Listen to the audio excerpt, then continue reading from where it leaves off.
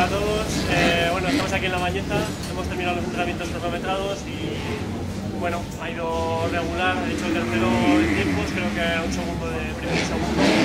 Y bueno, pues la verdad que podía haber ido mejor, he tenido una pequeña caída en las primeras vueltas que han sido las que mejor estaba el circuito,